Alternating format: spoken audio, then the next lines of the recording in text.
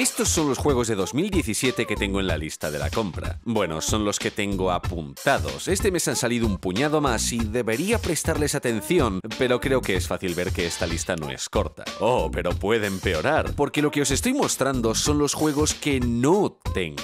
Si añadimos todos los títulos pendientes que poseo pero aún no he jugado, la lista queda así. No sé qué me ha pasado este año, pero he sido muy lento con los videojuegos. A estas alturas en 2016 había jugado a 30 y muchos o 40 y pocos títulos. Y ahora, ahora mismo la cuenta está en... sin comentarios. Sé que podré llegar a más porque, por ejemplo, tengo Cat Quest en la mirilla y ese dura 3 horas, o Little Nightmares que no llega a 4, pero ¿sabéis qué juego sé que voy a dejar pasar y me da igual lo que me digáis? Nio. Y el futuro para Horizon Zero Dawn tampoco pinta muy bien, y por muy tentado que esté, sé que Gravity Rush 2 no va a ser una prioridad, pero nada de esto tiene que ver con que piense que vayan a ser juegos buenos o malos.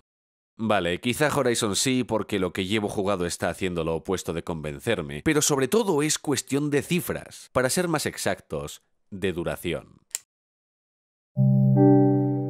Hay muchas cosas que me disgustan de la cultura del videojuego, que si el fanboyismo estúpido, la reticencia a aceptar lo que se aleje de los viejos cánones, prácticamente todo lo que tiene que ver con la palabra gamer, pero lo que interesa ahora es lo que me molesta la idea del videojuego como una suma de partes que prometan más que otorguen. Me refiero a que no veo que se pida solo un juego, sino que debe tener de todo. Misiones secundarias, varios modos, rejugabilidad. Y es como si necesitase agotar todas las posibilidades, pero eso viene con implicaciones. Implicaciones como que, por ejemplo, un videojuego que puedas completar en una hora y media y sea puramente lineal, sin habilidades, ni objetos, ni nada, solo habitar un espacio y descubrir una historia es insuficiente porque no tiene rejugabilidad y no estás haciendo nada. Siento que la gente lo único que quiere es números y más, más, más, pero prestamos atención al valor de esas cifras. Por ejemplo, el Smash. Tiene un montón de modos de juego, pero el único al que presto atención es el clásico versus, el jugador contra jugador y ver quién gana. Y si alguna vez lo analizo, es el único en el que me voy a fijar, porque siento que es lo que define el juego. Ese pedir tanto afecta a los videojuegos y afecta a nuestra visión del videojuego, porque significa que medimos nuestro entretenimiento en euros por hora y pedimos relleno antes que relevancia. Así se diseñan misiones secundarias que no aportan nada al conjunto, o cosas como los coleccionables y piezas en el videojuego de Mad Max. Y esa necesidad de meter por meter lleva tonterías como el Gwent en The Witcher 3, que será todo lo divertido que queráis, pero me pregunto en qué momento un brujador que tiene que salvar al mundo de la destrucción se sentaría a echar una partida a Magic the Gathering. Los Final Fantasy ya son largos, pero encima añaden misiones secundarias que no contribuyen a la historia principal y si no están, la gente cree que falta contenido. Y después tenemos cosas como el modo contrarreloj de Shadow of the Colossus, que da la vuelta a los combates para convertir algo trágico y bello que forma parte de esta historia tan dramática en una competición de a ver quién mata antes al monstruo. Todo esto es más contenido, pero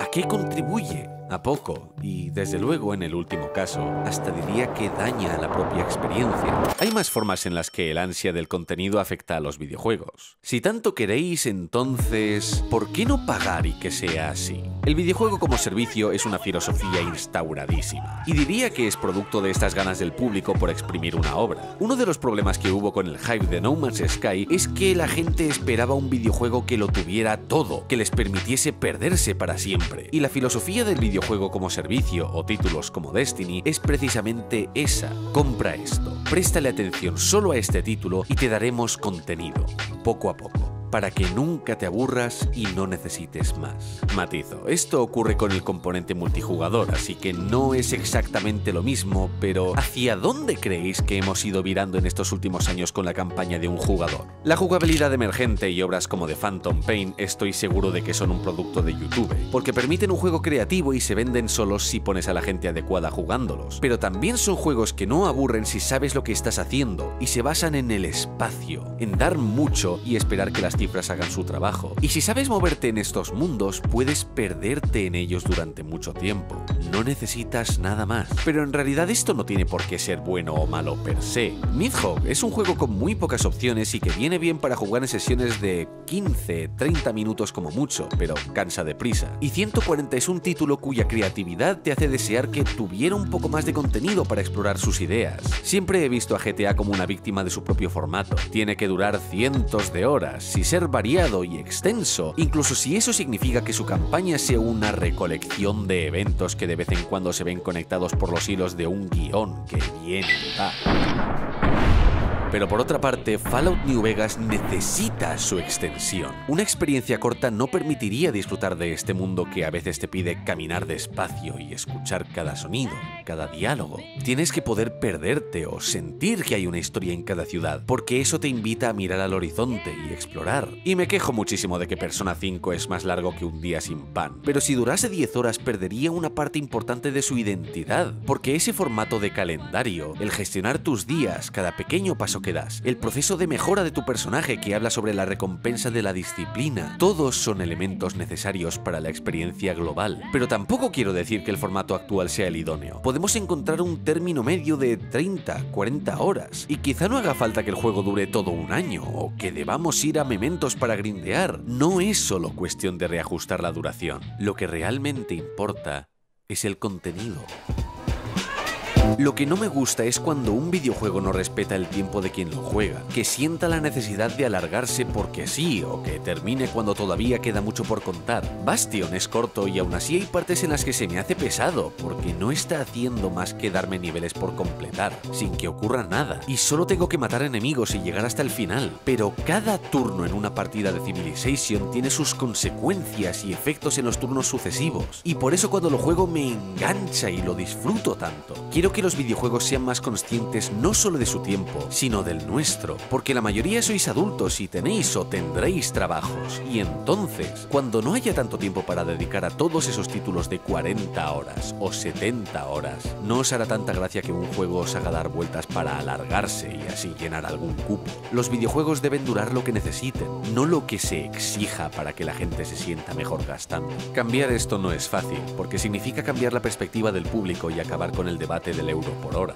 Y sí, los videojuegos AAA son caros, pero también son caros de producir. Y aunque no quiera pagar los casi 70 euros que vale una superproducción para jugarla durante dos horas, hay proyectos como Hellblade, que dura unas 7 horas y cuesta 30 euros, que marcan el camino a seguir. Más juegos por menos dinero y menos duración significan más experiencias al final del día. En el tiempo que me pasó Horizon Zero Dawn, habré jugado a muchos videojuegos más pequeños que me costarán menos. Y que quizá no me cambien la vida, pero sí darán algo distinto nuevo, aumentarán mi bagaje sobre el medio y sus posibilidades. El debate de la duración en realidad es uno de mentalidad, de perspectiva, de cómo se contempla el videojuego. Si lo vemos como un producto, nos darán productos y entonces serán innecesariamente largos a cambio de que el público sienta que ha invertido bien su dinero. Y oye, me gusta divertirme, me gusta jugar a Overwatch de vez en cuando. No es malo que haya distintos tipos de videojuegos, pero sí es malo que se exija que todos tengan que ser iguales, igual de largos, igual de falsamente completos. Nadie va a jugar a todos esos modos de juego. Están ahí para llenar espacio. Esto es algo que Innuendo Studios dijo hace ya un tiempo con un vídeo fabuloso sobre Call of Duty. La campaña está ahí porque tiene que estar, porque la gente espera que esté. Pero luego se critica o sobre todo se ignora, porque la mayoría ha venido por el multijugador, e incluso entonces solo están por ciertos modos. El resto existen para adornar, porque el juego es muy caro, pero es muy caro porque exigimos esos adornos. Al final lo importante no es el tamaño, sino el uso que le das. Igual que las pollas. そのそのそのその